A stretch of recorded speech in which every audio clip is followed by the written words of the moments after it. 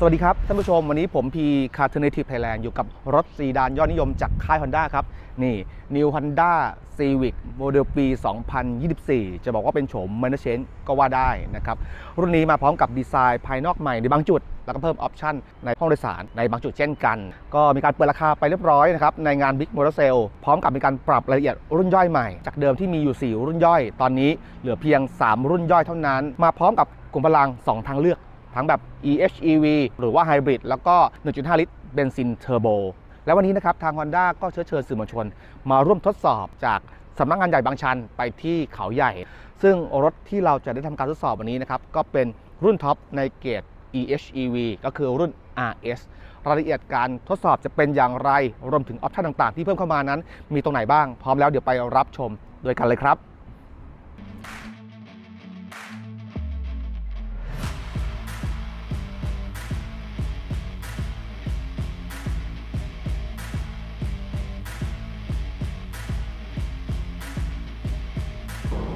ก็ได้เวลาเดินทางนะครับสำหรับในทริปของ Honda Civic ใหม่นะครับ ซึ่งคันของผมนี่ก็มีผมนะครับ แล้วก็ทางคุณพีครับ จากครับ Carternative Thailand นะครับสวัสดีครับ ครับผมก็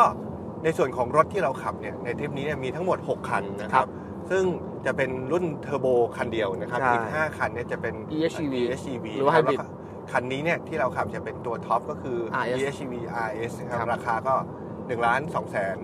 39,000 บาท ก็ราคาของเขาเนี่ย ปรับลงนะพี่ คันนี้ปรับลง 20,000 บาทครับผมนะครับคือทั้ง 3 รุ่นเนี่ยตัวเทอร์โบเนี่ยปรับขึ้นนะครับมีรุ่นเดียวที่ปรับขึ้น 29,100มีบาทติ่งด้วยหนึ่งติ่งหนึ่งร้อยใช่ครับ ตรงนี้เนี่ยเราต้องพูดถึงเรามาหาเหตุผลกันไหมว่าครับทำไมตัวเทอร์โบปรับขึ้นตัว e:HEV ปรับลงอ่าอ่าอะอย่างแรกที่ผมในในความคิดของผมนะอ่าในเรื่องของรุ่นเทอร์โบเนี่ยครับผมว่าวัยรุ่นชอบอ่าวัยรุ่นชอบ ซื้อตกแต่งซื้อเป็น modify ครับนะครับเทอร์โบเนี่ยมันแต่งง่ายกว่าที่เป็นครับ EHEV ไงอ่านะครับอ่าก็เลยปรับขึ้นเอ่อผมผมว่ารถคันน่าจะเป็นกำไรอ่าอ่านะครับแต่ว่าถ้าเทียบสัดส่วนแล้วเนี่ยนะสู้ EHEV ไม่ได้ครับแต่ว่าเอากำไรจำนวนเยอะกว่าอ่าในเรื่องของการตลาดอ่าขณะที่ครับในส่วนของ EHEV คือ EL Plus นะครับก็ปรับลง 30,000นะครับแล้วก็ RS ปรับลง 20,000 ใช่ ซึ่งตรงนี้เนี่ยเอ่อ นอกจากการปรับลงแล้วเขาก็มีการเพิ่มรายละเอียดต่างๆ เข้ามาไม่น้อยทีเดียวนะครับพี่เอาอ่าทุกเกรดอย่างแรคกรับเลยภายนอกคือปรับดีไซน์ด้านหน้าใหม่หมดเลยครับผมทั้งตัวอ่ากระจังหน้ากันชนนะลิ้นหน้าเนี่ยปรับใหม่ครับนะครับไฟท้ายเช่นกันก็เป็นรมดำและทุกครับคู่รุ่นย่อยนะครับส่วนรายละเอียดปลีกย่อยอย่างเช่นล้อแม็กเนี่ยนะครับในรุ่น EL Plus ทั้ง 2 เกรด ทั้งเบนซินเทอร์โบแล้วก็ครับ EHEV เนี่ยขยายเป็น 17 นิ้วครับลายใหม่ two-tone ครับผมนะครับส่วน RS 18 นิ้ว 18 นิ้ว เป็นเป็นสีแบบเทาๆนะเรียกอ่า matte matte black ครับผมนะครับ แล้วก็หน้ายางก็เอ่อยางก็เอ่อเตี้ยลงอย่างกันเตี้ยเป็นยางอ่าไซส์40 อะ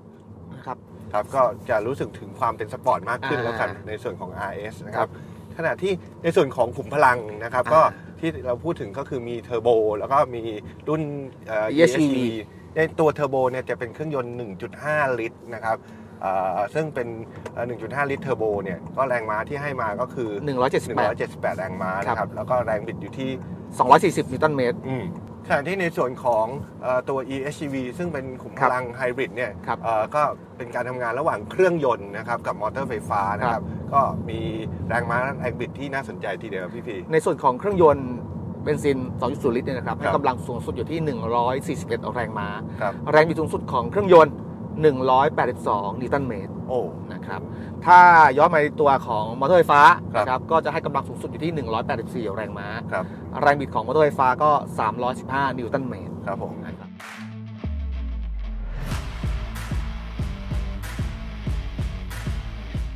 RS เนี่ยจะมีความพิเศษในเรื่องของโหมดขับขี่ที่เพิ่มโหมดอินดิวิ a l เข้ามา เดิมทีจะมีแค่ 3 โหมดพี่นกอ่าฮะมีอะไรบ้างนะพี่ ก็จะเป็นเอ่อ eco normal แล้วก็สปอร์ตอ่านะครับอันนี้พอเติมเข้ามาเนี่ยก็จะมี individual ซึ่งสิ่งที่ได้ขึ้นมาในส่วนของโหมด individual คือเฮ้ครับ feeling มันดีอะอ่า นะครับพอผมได้ขับนะ feeling มันดีอยู่แล้วอ่าฮะโดยเฉพาะระบบไฮบริดเขาเนี่ย ผมว่ามันมีความเสถียรมีความ stable แล้วก็มันนิ่งมันคงที่อะมันทำงานได้แบบเนียนกริบ การตัดต่อระหว่างเครื่องยนต์กับมอเตอร์ไฟฟ้าเนี่ย บางจังหวะนะ มันจับไม่รู้เลยว่ามันเป็นตรงไหน อืม เป็นเป็นมันมอเตอร์หรือเป็นเครื่องยนต์กันแน่เขาทำงานได้ราบเรียบมากต่อเนื่องมาก แล้วก็ ผมว่ามันเป็นรถที่สู้รถ EV ได้นะจะสู้รถ EV ในเรื่องความประหยัดได้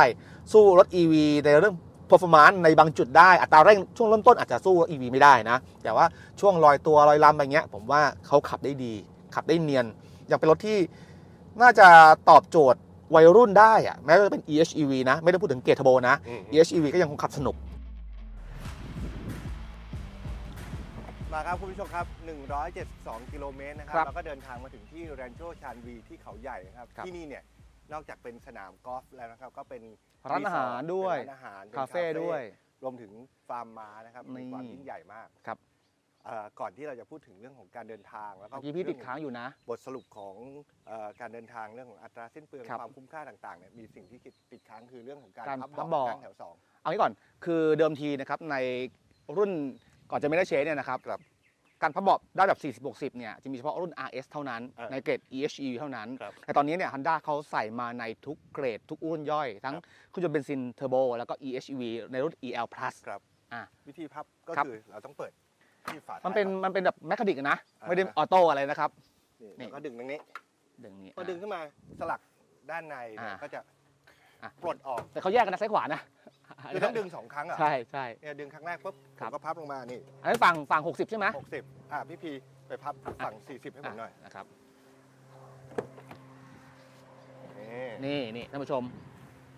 ครับจะเห็นว่า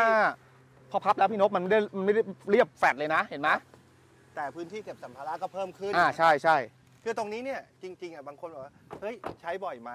นะครับไม่ได้บ่อยหรอก ในส่วนตัวนะผมว่าไม่ได้ใช้บ่อยกับรถนะประเภทเนี้ยนะนานๆทีจะบรรทุกสัมภาระที่มีความครับ ยาวความใหญ่นะครัใช่แต่พอต้องต้องการใช้เนี่ยมีดีใช่ กว่าไม่มีใช่ถูกต้อง นะครับนะครับเรามาพูดกันถึงเรื่องของการเดินทางแล้วก็เรื่องของบทสรุปอืมของตัวเอ่อ Honda Civic ครับ เอ่อ ESCV รวมถึงรุ่นย่อยอื่นด้วย ย่อยอื่นๆ ทั้งหมดดีกว่าครับคุณผู้ชมครับ ภาพรวม กับการรีวิวแล้วทดสอบขับในครั้งนี้นะครับสำหรับ New Honda Civic โมเดลปี 2024 กับรุ่น EHEV RS แล้วก็อัตราความสิ้นเปลืองเฉลี่ยที่เราเออขับมานี้นะครับ 172 กิโลเมตรหรือเท่าไหร่พี่นก ตอนที่ผมทำเนี่ยครึ่งทางเนี่ยผมครับทำได้ 24.9ครับจำตัวเลขได้เลยนะอ่าแต่พอมาถึงที่นี่เนี่ยผมไม่รู้เขาขับยังไงอีกครึ่งทางเนี่ยลงไปเหลือ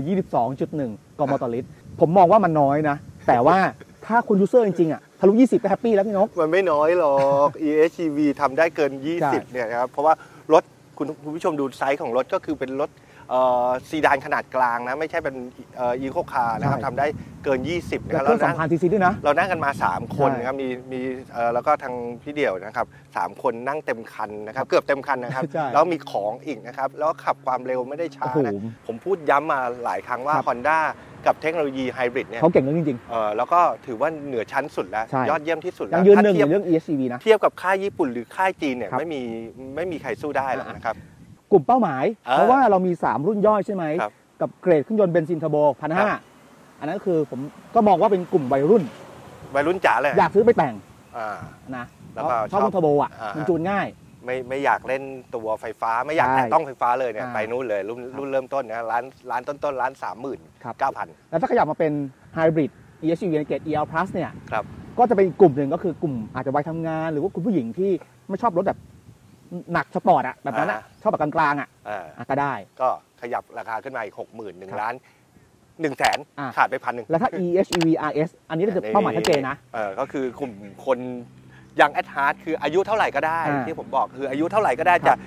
สามสิบห้าสิบหกสิบหรือแม้แต่มากกว่านั้นนะครับ แต่มีความเป็นวัยรุ่นอ่ามี มีความเป็นคนที่ต้องการรถแบบสปอร์ตเนี่ย RS ครับ นะครับ EP นี้ทั้งผมนะครับ พีคัตเทอร์ทีไทยแลนด์แล้วก็พี่นกสมนรงค์จากโอต t ทีวี นะครับ ต้องขอตัวลาไปก่อนฝากเราทั้งสองช่องด้วยนะครับ สวัสดีครับ สวัสดีครับ